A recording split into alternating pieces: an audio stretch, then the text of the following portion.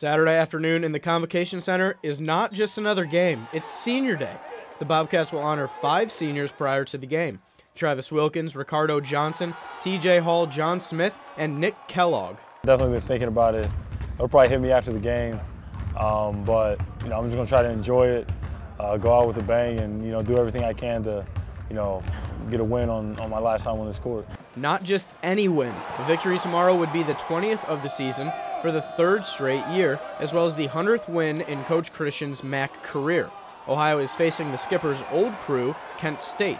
The Bobcats defeated the Golden Flashes 59 to 53 on January 8th when Kellogg led the way with 19 points. He is four three-pointers away from becoming Ohio's all-time leader and seven away from being the MAC daddy with the most in conference history.